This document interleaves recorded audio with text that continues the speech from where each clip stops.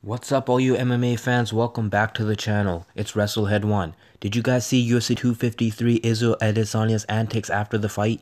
Apparently he humped Paulo Costa. Yes, that's right, Paulo Costa got humped by Israel Adesanya UFC 253. That was quite disturbing. A lot of fans picked it up after the dominant victory. Izzy, the last stylebender, grabbed Paulo Costa in a disrespectful manner. A lot of people didn't think this was sportsmanlike. Tell me what you guys think. If there was Abu Dhabi with strict laws and there was people there, he possibly would have got fined. But nobody was there and he did it really fast. He even went up to the coach and said some disturbing words. What do you guys think about Izzy's antics, especially when he was jumping around with all his guys in the backstage? But this antic doesn't belong in MMA. But it was a big money fight. There's nothing you can do about it. Paulo Costa's throwing a rant. He's saying this man's a trashy human being.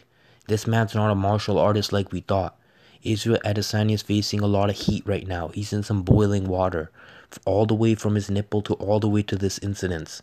What do you guys think? Israel Adesanya.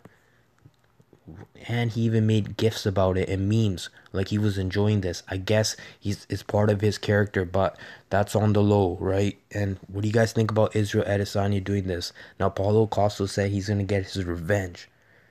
Wow. It's remember when opponent stepped on another guy and he jumped over him? It was disrespectful. It was a no contest. Who knows? Maybe this will be turned to a no contest. I doubt it. But at least there should be a fine. It was unsportsmanlike. It's unmartial arts like, but this is the new ways. Folks, it's all about the money. Make sure to hit that like and subscribe button. Also comment down below. Peace out guys. Have a great day.